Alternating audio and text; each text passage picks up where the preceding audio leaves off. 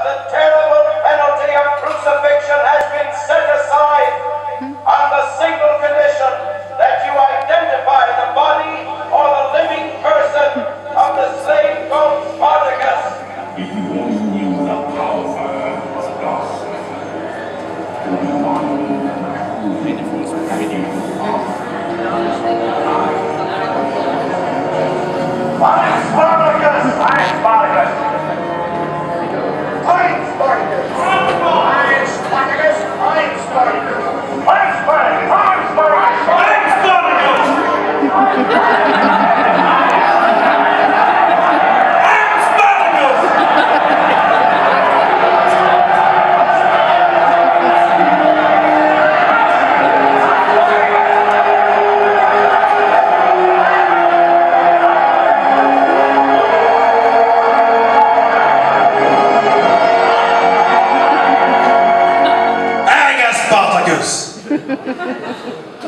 Hei igjen!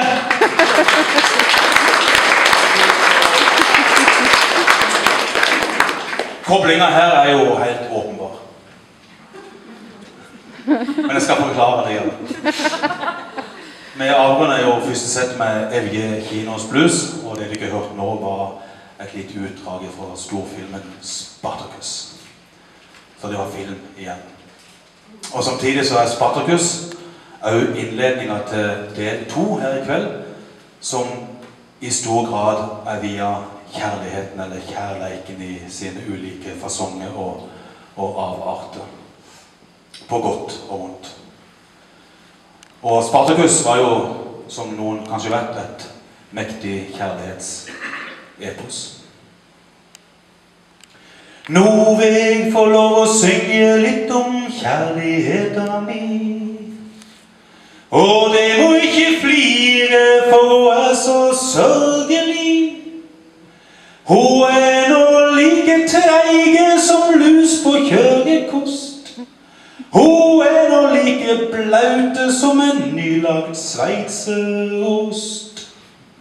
Når kjærligheta brenner, ja, da kan hun være heit. For jeg har elska hun Guri, for hun var så tjukk og feit. På mine smale kjaker ei tåre trilla ned. For jeg har elska ho Guri, men ho Guri elska han Per. Men ho Guri han holdt tå meg lite grann en gang. Den gang vi sto bak låven og høyre kråka sang.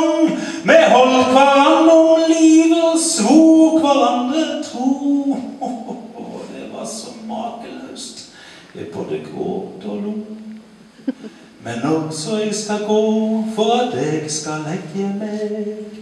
Så er det ikke fritt for at jeg lengter etter deg.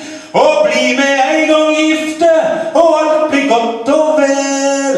Ja, så tror jeg at jeg kommer til å kose meg i hjel. En gang. Ja, så tror jeg at jeg kommer til å